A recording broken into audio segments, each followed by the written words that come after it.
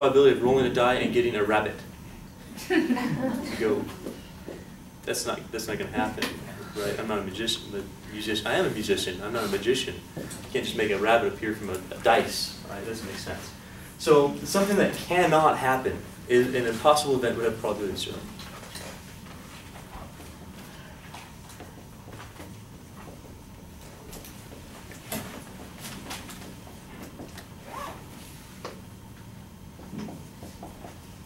With that in mind, what's the probability equal to 1 imply?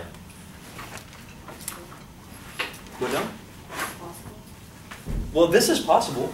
That's not equal to 1. That's certainly possible, right? You can get two girls and a boy, or what did I say? Two boys and a girl. You can get that. So probability of 1 means it's more than possible. It's certainly more than impossible. Oh, duh. Probability of 1 means more than just possible. What's it mean? It will happen. It's certain. It's certain. If I say there's a hundred percent probability that you're going to have homework tonight, Oh. well, that sucks, huh? That means that it's certain you are going to have homework tonight. Hundred percent probability p equals one means a certain event.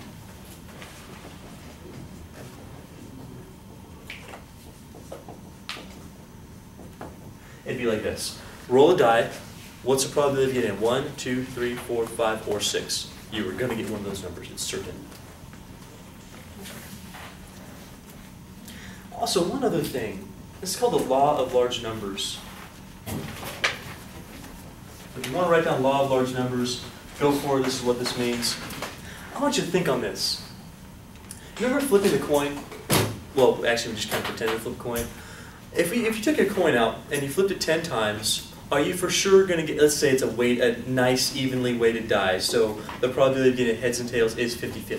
If you flip it 10 times, are you for sure going to get five heads and five tails? It's possible you could get only three heads and seven tails, right? That's, that's quite possible. If you flip it a million times, you're probably not going to get exactly 500,000 heads and 500,000 tails. You're probably not going to, going to get that, but as you increase the number, the observed probability is going to get very close to the classical probability. For instance, if you flip it 10 times, you might not get 5 and 5. If you flip it a million times, it's going to be pretty close to 50-50. You might get five, uh, 490,000 and 510,000, that uh, ratio. If you increase it to infinity, observed probability will actually approach, which means it's going to become classical probability. So those two things will increase. Does that make sense to you? The more you repeat a procedure, the closer observed will be to uh, classical theory. You can see this in the poll, I mean the polling that, that we did, like the, the surveying.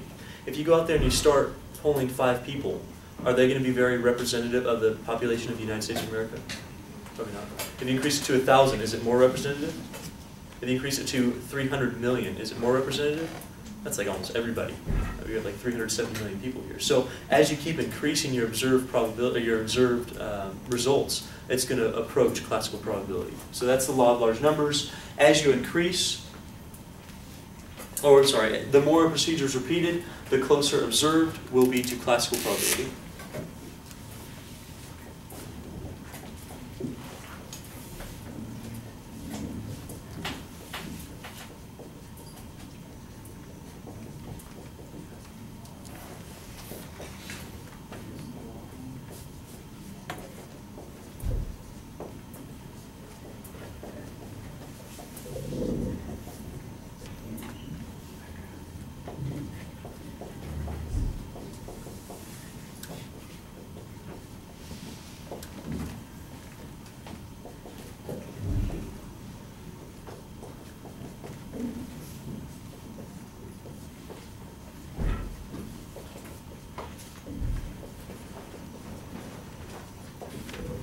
So the more procedures repeated, the closer observed probability will get to classical probability.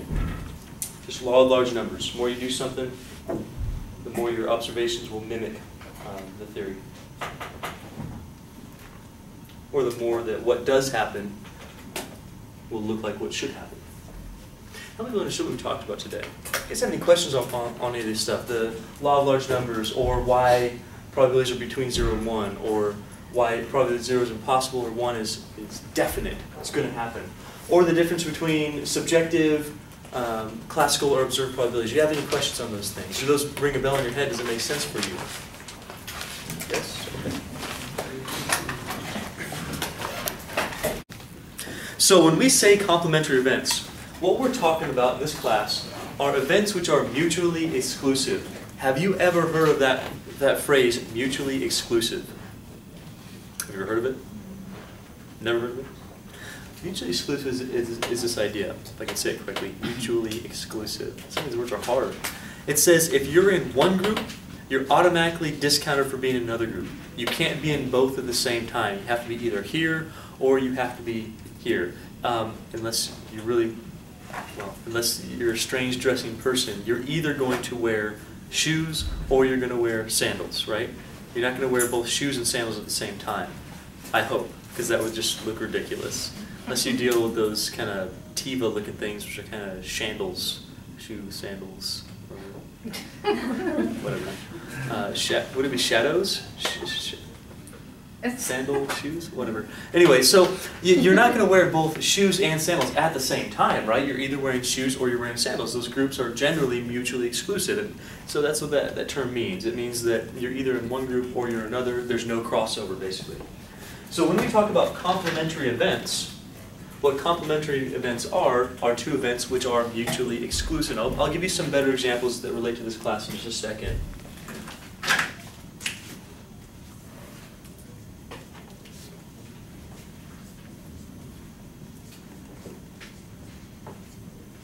By the way, when we say complementary, I did spell it wrong. It's not with the I. It's not like compliment. Like you look nice today. So these events are not sitting there going, "You're such a good-looking event." Oh, thank you, event. I feel like a good-looking event today, so I appreciate that compliment.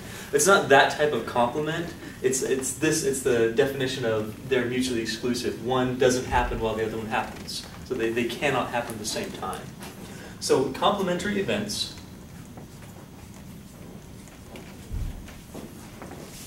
These are events which are mutually mutually exclusive. Wow, I'm having a hard time with that. Mutually.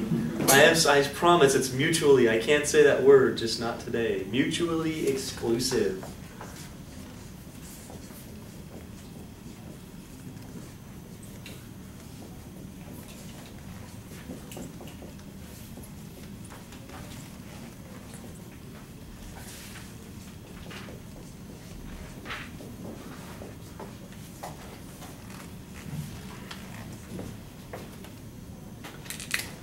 Most basic definition I can give you for mutually exclusive is two events which can't happen at the same time.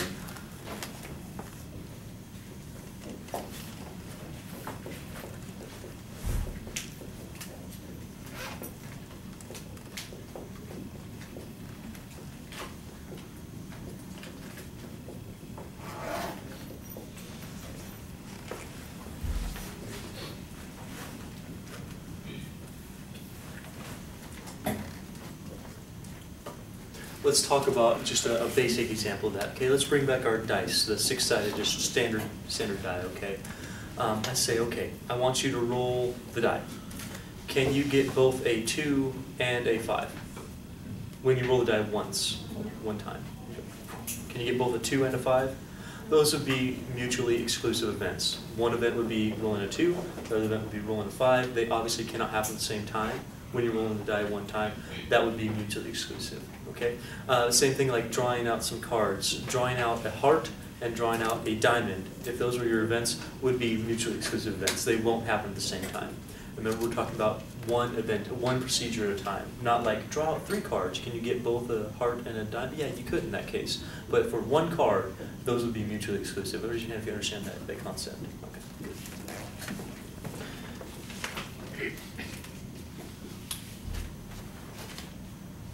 Okay. So what, what is a complement?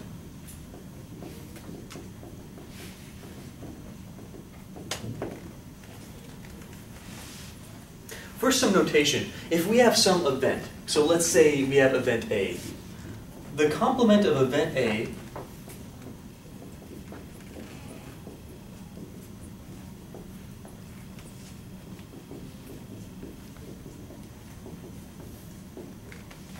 complement of event A is denoted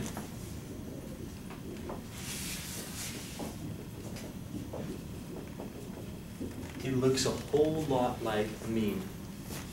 It's not, but that's how we write the complement.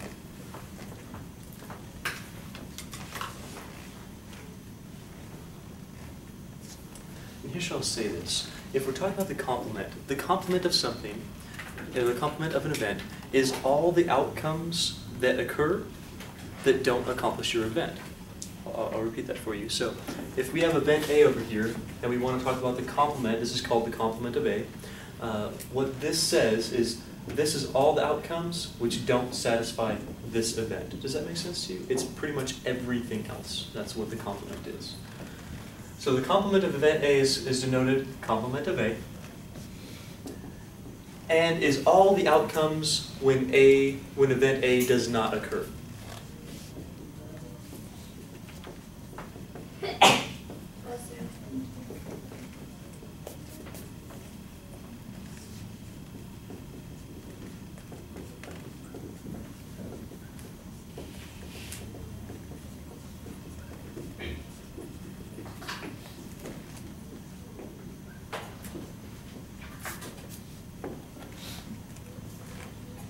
not occur. For some reason, this helps me to remember. I don't know why this helps me remember it, but maybe this will help you remember it. When you see this, it's kind of like a minus sign. Minus to me means not or bad, not. So if this is our event A, this means not A. So everything else besides A. All the outcomes that don't make A. You with me on that? That's how I remember it. Don't know if that helps you, but hopefully uh, that, that does. So let's do an example. Let's say that my event, let's go back to the, um, the dice rolling thing, okay? The event is, we're gonna look to see if we can roll a five. So rolling a five. That's our event.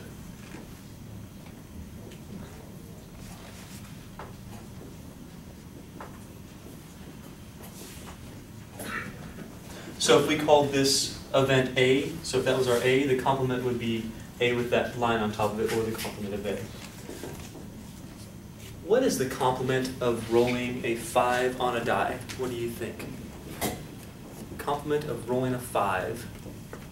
What else could happen, the way to answer this question, what else could happen when you roll a die that doesn't make a five? What else could you get, basically? One, two, three, four. Could you get a seven? That's one die. Could you get a seven? What else could you get besides a five? So anything besides the five would be the complement. You all stated one, two, three, four, six. Perfect. So the complement of rolling a five is not rolling a five, or rolling not five.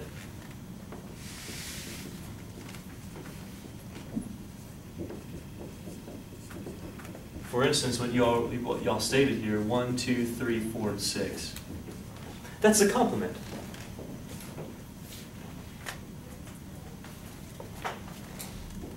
So the complement, the complementary events here work so that they, they add together to create the whole sample space. So if you're talking about two complementary events, it's got to be either one or the other. They're mutually exclusive, but together they make up the whole thing. Can you get anything else besides a five or a one through six? That's why they're complementary, because together they make up the whole sample space, right? You can't get a zero, you can't get a seven or anything else.